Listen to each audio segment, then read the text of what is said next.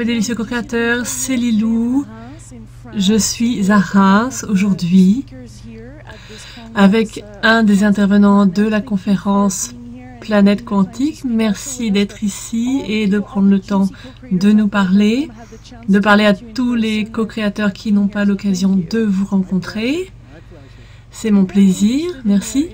Donc, je suis très intéressée par votre parcours Qu'est-ce qui vous a amené à être un intervenant ici, dans cet événement? En fait, on me considère comme un des pionniers de la médecine corps-esprit. J'ai commencé ce travail après une révélation que j'ai eue que je devais guérir avec l'amour. J'avais une pratique assez occupée à San Francisco. Et puis, Soudain, l'Esprit est venu en moi et m'a dit, ton travail, c'est de guérir avec l'amour. J'ai reçu ça pendant une méditation profonde. J'étais dans une salle, tout seul, et soudain, c'est comme si on avait allumé la lumière. Alors j'ai ouvert les yeux, mais la pièce était toujours sombre. J'ai refermé les yeux, et il y avait cette luminosité intérieure, et j'ai entendu une voix qui a dit, ton travail, c'est de guérir avec l'amour. Bon, je dis que c'est une voix, mais c'était très profond. Et les cheveux me sont dressés sur euh, la nuque, les larmes ont commencé à couler. Et j'ai dit, oh, je suis digne. Et j'ai entendu, tu n'es pas plus ou moins digne qu'un autre. Ton travail, c'est de guérir avec l'amour. Et je savais que c'était vrai, je ne savais pas ce que cela voulait dire. Et c'est comme ça que cela m'a amené ici, parce que j'ai commencé à explorer qu'est-ce que la guérison voulait dire et qu'est-ce qu'était l'amour. Est-ce qu'on peut mesurer l'amour? Je sais que HeartMath a fait beaucoup d'études, mais en avez-vous fait vous-même? J'ai fait mes propres recherches et ce qui s'est passé, c'est que tout ça c'était avant HeartMath. Ils m'ont contacté ils avaient lu mon livre et ils m'ont dit, vous faites ce que nous faisons, rejoignez-nous. Donc, je suis devenu un des membres de leur conseil scientifique pendant six ans et j'ai travaillé avec eux. Et quand on a commencé le travail sur l'ADN, ils ont fait des mesures sur moi et je vais en montrer quelques-unes des mesures qu'ils ont fait pendant que j'étais en état de cohérence d'amour. Il y a un moyen de mesurer le champ électromagnétique que l'on dégage quand on est en état d'amour cohérent. Et est-ce qu'on peut être dans cet état couramment ou est-ce qu'il faut être en méditation ou est-ce que vous, vous y êtes tout le temps dans votre vie? Mais c'est une très bonne question. Je pense que si vous êtes conscient du fait que vous pouvez vous entraîner. Il y a des gens qui sont dans cet état spontanément et puis il y a des gens qui vont et viennent. Donc euh, il y a toute une fourchette possible. Il n'y a pas un processus pour tout le monde. Oui, c'est différent pour chacun. Mais ce que je vais partager aujourd'hui, c'est qu'il y a des portails par lesquels on peut passer pour y accéder. Et je vais me concentrer aujourd'hui sur le portail du cœur, cet espace qui permet d'accéder à une conscience élargie. Ah, vous allez devoir nous en parler maintenant de tout ça. Ou sinon, vous avez envie? Alors, ce portail du cœur, pourquoi est-ce que vous l'appelez un portail? Je l'appelle un portail parce que, bien que ce à quoi on fasse référence, c'est la conscience du soi, on n'a pas toujours accès à ça dans notre état ordinaire. Pour la plupart des gens, il faut faire un effort conscient pour entrer dans ce portail. Donc comment est-ce qu'on fait ça? Et une des choses que j'ai appris, je suis entré en relation avec HeartMath et on a développé des étapes. Un, c'est de porter votre attention vers le centre de votre cœur, votre cœur énergétique. Deuxième étape, inspirez et expirez depuis ce centre énergétique comme si vous respiriez par le cœur. Et troisième étape, concentrez-vous sur quelque chose qui vous fait vous sentir bien, un ressenti qui vous ouvre le cœur. Donc si vous arrivez à vous rappeler quelque chose d'aimant, et la plupart des gens le peuvent, alors vous le faites, ou bien un sentiment de gratitude, ou le sentiment du pardon, ou l'appréciation. Tout ça, ce sont des fréquences de l'amour. Et nous avons l'énergie électromagnétique du corps qui s'aligne sur une fréquence. C'est comme si pour le corps, tout s'aligne dans un état optimal Oui, ce qui se passe, c'est que l'énergie du cœur est celle qui est la plus puissante dans le corps.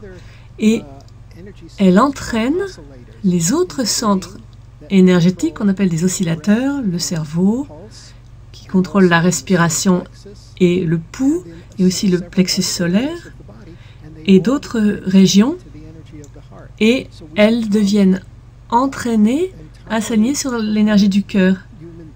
Et on atteint un corps cohérent. On devient des harmonisateurs. Et quand l'énergie du corps est cohérente, le pouvoir est multiplié. C'est très étrange.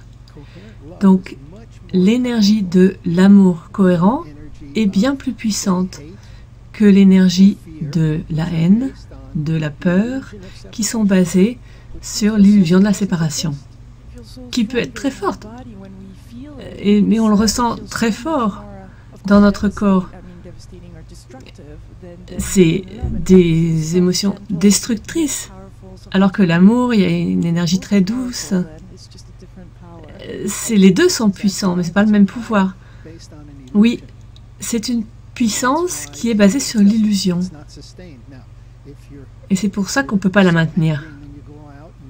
Si vous êtes tellement en colère que vous sortez et faites un acte de colère, alors évidemment, cela va être maintenu dans les conséquences de cet acte. Mais la haine elle-même n'est pas basée sur la vérité. C'est ça. Alors que l'amour est basé sur la conscience sous-jacente de l'unité. Est-ce que l'amour peut réagir rapidement? Est-ce que les conséquences de l'amour peuvent être aussi rapides que celles de la colère qui nous pousse à des gestes euh, très rapides? Bien plus, bien plus d'impact. Donc c'est sur le long terme. Mais ça me rappelle une histoire j'ai un ami qui étudiait auprès d'un saint au Sri Lanka qui s'appelait Bawa. Et donc, c'était un avocat de Philadelphie et il passait du temps auprès de cet homme. Il était assis en face de lui et Bawa était sur un piédestal. C'est un très vieil homme. Les arrière-grands-parents se rappellent qu'il était déjà là. Pour eux, je suis déjà allé lui rendre visite. donc apparemment, il y a un homme qui arrive en courant, furieux, vers Bawa avec un couteau. Je vais te tuer. Donc mon ami a essayé de l'arrêter et Bawa était assis comme ça et l'homme est arrivé près de lui. Et Bawa a ouvert sa chemise pour dégager son cou et il a dit Mon frère, que le fait de prendre cette vie t'amène la paix. Et il a exposé son cou et l'homme s'est arrêté, est tombé à genoux, a commencé à pleurer. Et Bawa lui a dit Rentre chez toi, lave-toi et reviens. Et cet homme, évidemment, est devenu un disciple. C'est une histoire vraie. Donc, voilà le pouvoir de l'amour.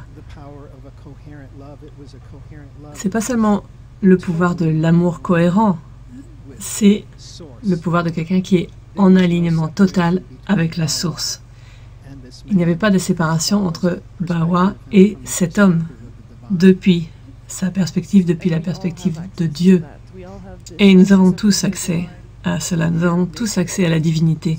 Oui, ça fait partie de notre nature. La conscience est notre nature profonde. C'est le ressenti de l'unité. Il n'y a qu'un qui apparaît dans la multiplicité, dans la multiplicité des formes. Mais toutes les formes surgissent de la source unique. Elles existent et ensuite elles disparaissent et on crée de la souffrance quand on devient attaché aux formes ou quand on résiste à l'arrivée des formes. Donc il y a vraiment différents portails. Et un des portails, c'est de plonger dans ce qui surgit et de revenir, revenir, revenir en arrière vers la source. Et vous allez découvrir que c'est fait de conscience. Il n'y a rien Et il n'y a personne à qui cela arrive. Donc ça a l'air un peu vague, mais dans mes séminaires, mes ateliers, c'est ce vers quoi on amène les gens. Est-ce que vous parlez aussi des maladies et des raisons pour lesquelles nous avons ces maladies? Est-ce que c'est parce que l'amour ne circule pas librement? C'est quoi votre, votre avis sur les maladies? Eh bien, quand j'ai commencé à explorer la guérison par l'amour, dans ma pratique avec quelques patients, j'ai réalisé que la plupart des maladies et toute la souffrance et la détresse viennent de ce que l'on perçoit comme une séparation. La séparation d'une part de nous-mêmes avec une autre et qui était trop difficile à maintenir dans la conscience parce que quelque chose s'est passé. Peut-être très tôt dans la vie, un incident grave, ou bien quand nous étions dans le ventre de notre mère. Et tout ce que la mère ressent, peut-être qu'elle n'est pas d'accord avec cette grossesse, ou il y a des problèmes relationnels,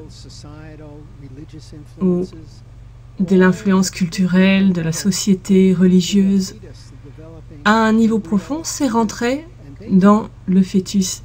Et nous avons tous été des fœtus et des bébés. Et le bébé a commencé à imaginer que tout cela, c'était à lui, puisqu'il n'y a pas de séparation entre le bébé et la mère. C'est un enchevêtrement dans le ventre. L'enchevêtrement quantique. Oui, l'enchevêtrement quantique entre la mère et l'enfant.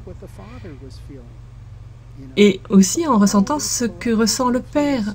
Donc, toutes ces influences collectives, ces influences intra-utérines, ont eu un impact sur ce bébé. Et quand il est né, il est arrivé dans le monde et ça, ça a été renforcé par des incidents dans l'enfance qui impriment « je ne suis pas bien comme je suis ». Il y a quelque chose qui ne va pas. Ou bien le père voulait un fils et c'est une fille, donc je suis une erreur. Ou les parents n'étaient pas prêts à avoir un enfant, ou ils ont voulu avorter. Toutes ces choses, quand on fait du travail de guérison avec les gens, ça ressort le subconscient, les croyances inconscientes. Et ça, ça crée un sentiment de séparation entre une partie de nous et une autre. La plupart du temps, les gens n'arrivent pas à remonter dans leur mémoire avant leur troisième anniversaire ou quelque chose comme ça. Est-ce que vous arrivez à remonter au-delà?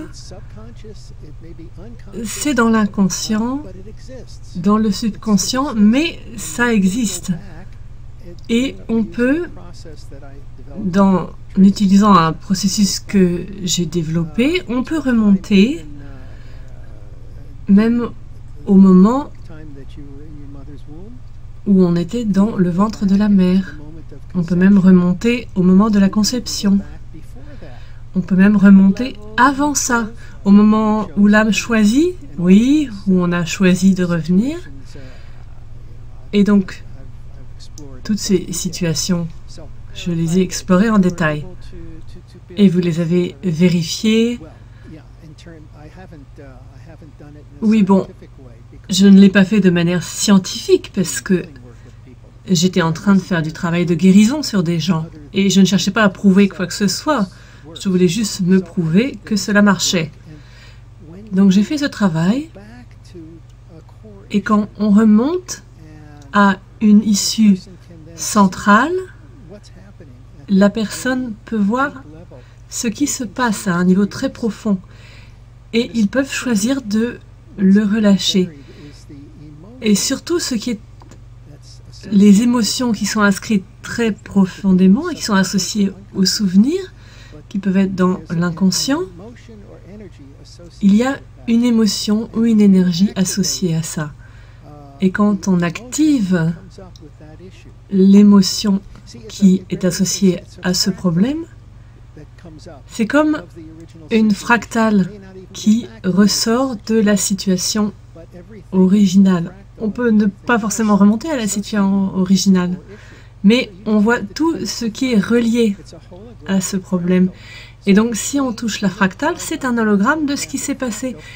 Et si on touche une partie de cette fractale holographique, tout change. Et on change notre histoire. Et l'histoire aussi.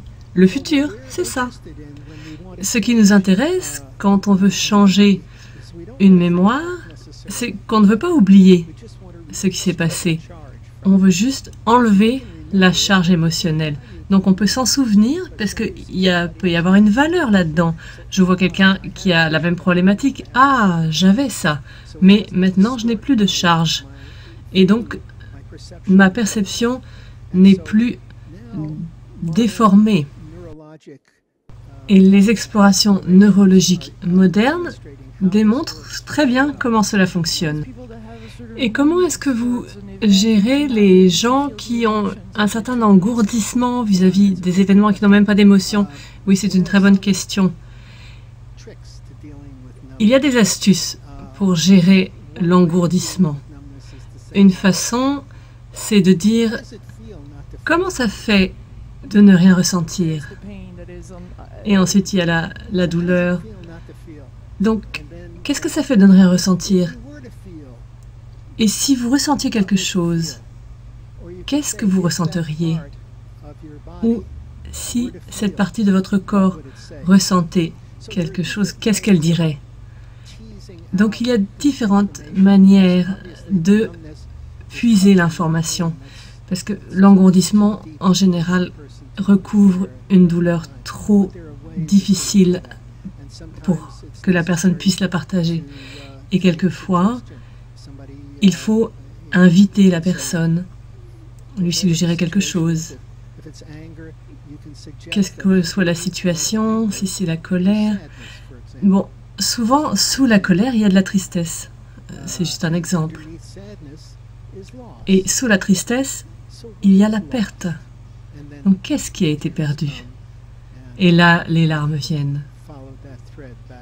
Et vous avez suivi ce fil. Donc, il y a des techniques pour gérer cela. Mais ce qui est important, c'est que quel que soit ce qui ressort, on peut le relâcher énergétiquement, surtout si on réactive le ressenti. Si on active le ressenti, il y a des hormones qui sont lâchées dans le corps, la cortisone et l'adrénaline. Et des recherches récentes montrent que la mémoire court terme est convertie en mémoire long terme. Et il y a une hormone qui est associée à ça, des hormones comme l'adrénaline et la cortisone. Donc si vous êtes dans le ventre de la mère, il y a quelque chose qui se passe et elle est stressée, donc elle relâche la cortisol et l'adrénaline. Elle, elle a ses ressentis et ça, ça s'imprime comme une mémoire et ça va se loger dans une zone du cerveau qui s'appelle l'amygdale. Et d'une mémoire à court terme, c'est converti dans une mémoire à long terme avec ces hormones. Et donc, ce qui a été découvert récemment, c'est que, bon, moi, ça faisait longtemps que j'utilisais ces techniques. J'avais pas l'explication. C'est que si on arrive à convertir en présence d'une hormone, si on peut déstabiliser la mémoire long terme, qu'est-ce qui se passe quand ces hormones sont là, et qu'on introduit l'énergie de l'amour, l'énergie de l'amour relâche toute une série d'hormones, d'oxytocine, alpha-symécine, la dopamine entre autres, la sérotonine.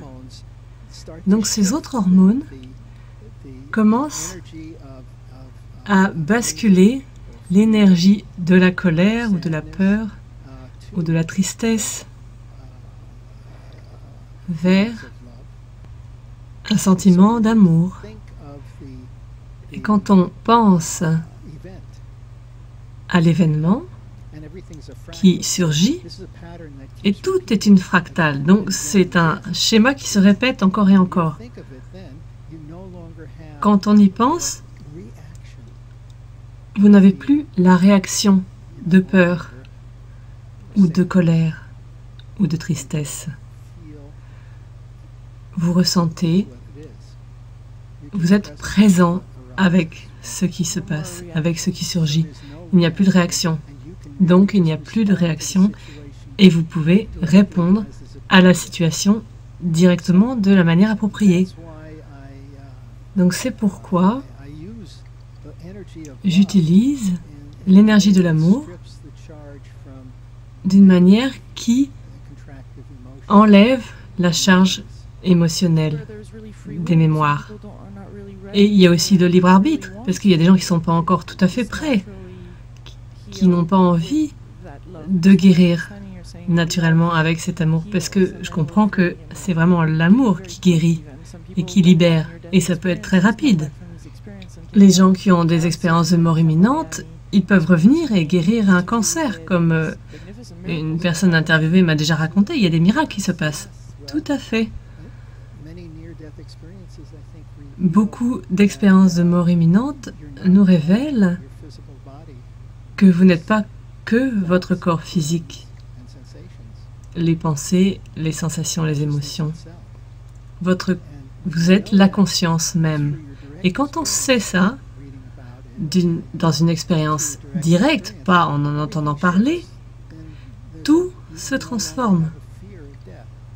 Vous n'avez plus peur de la mort. Vous avez peut-être envie de rester et de profiter de la vie, mais vous pouvez être bien plus présent puisqu'il n'y a plus la peur de la mort. Et ça fait partie des séminaires que j'anime les gens réalisent leur propre nature. Et leur nature véritable est présente avant la naissance et après la mort. Donc, on prend conscience de son immortalité en tant que conscience, pas en tant que conscience individuelle, mais en tant que la conscience. Anita Moreani qui m'a raconté cette expérience de mort imminente on la voit partout sur Internet. Et, elle se sent invincible maintenant. Et elle vit sa vie maintenant comme ça. Eh bien, elle a touché là l'unité toujours présente qui est à elle et qui est toujours là. Et bien sûr, cela ne peut pas être affecté c'est les formes surgissent de cela et se résorbent en cela aussi. Et elle sait quelle est la vérité. Elle est, enfin bon, ce sont des mots, mais c'est au-delà de l'individu. Et son âme opère encore en amenant cette unité à travers cette forme individuelle qu'on appelle elle. On a beaucoup de bruit, désolé, mais délicieux co-créateur, mais bon, on a un bon micro, donc euh, je pense que ça devrait aller. Donc son âme Son âme fait l'intermédiaire.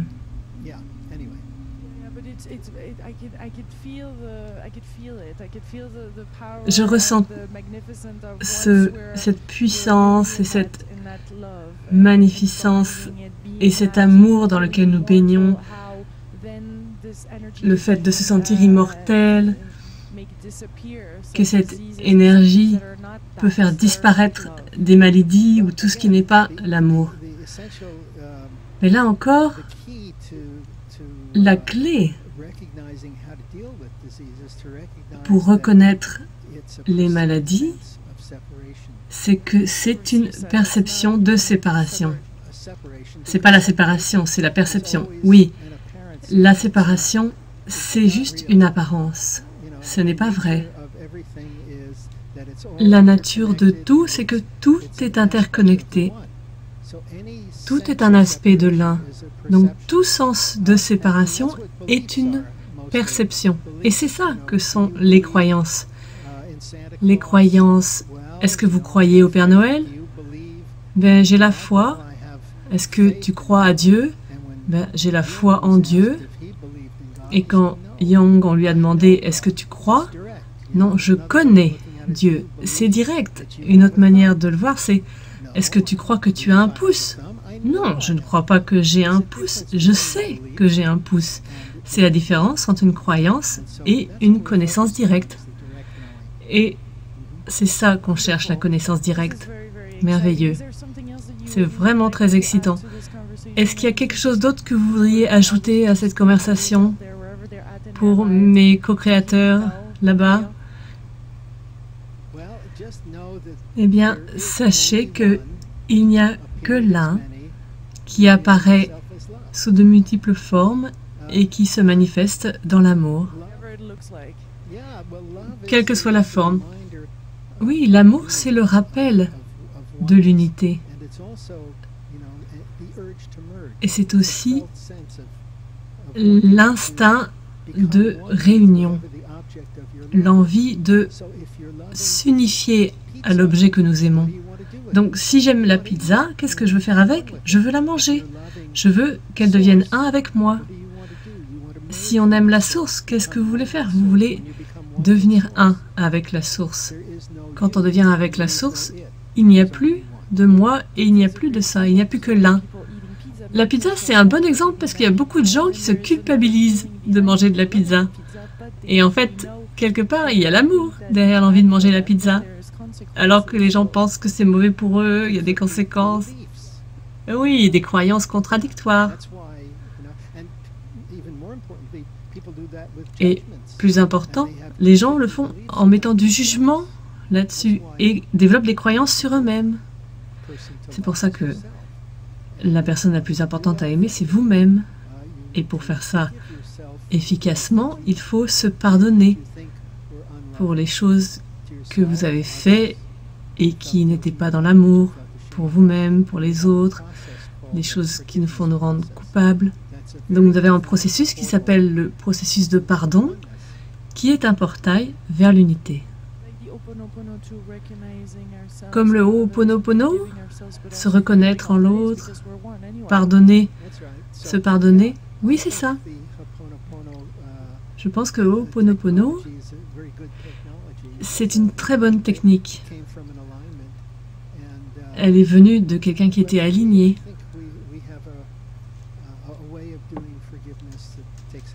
Et je pense qu'on a une méthode qui permet de procéder au pardon en une demi-heure et on ne parle pas de l'autre personne, même si on pense que c'est à propos de l'autre personne, c'est vraiment à l'intérieur de nous-mêmes que ça se passe.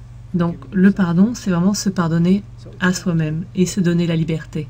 Donc c'est à propos de vous. Quand on a l'intention de se pardonner à soi-même, on peut directement accéder à l'unité. Ça, c'est le potentiel. Le potentiel est là. Des fois, il faut le faire encore et encore, comme si on enlève les pelures d'un oignon. Quelquefois, ça arrive pouf, spontanément. Quelquefois, il faut le refaire. Tout en s'aimant dans ce processus. Exactement. S'aimer inconditionnellement tel que l'on est. Très beau. Merci pour ces très belles paroles. Avec plaisir. Merci mes délicieux co-créateurs d'avoir regardé cette vidéo, de la partager. Je vous envoie beaucoup d'amour de Reims, en France. C'est la région de Champagne, oh là là. Beaucoup d'amour, au revoir. Oui, des bulles d'amour, c'est ça.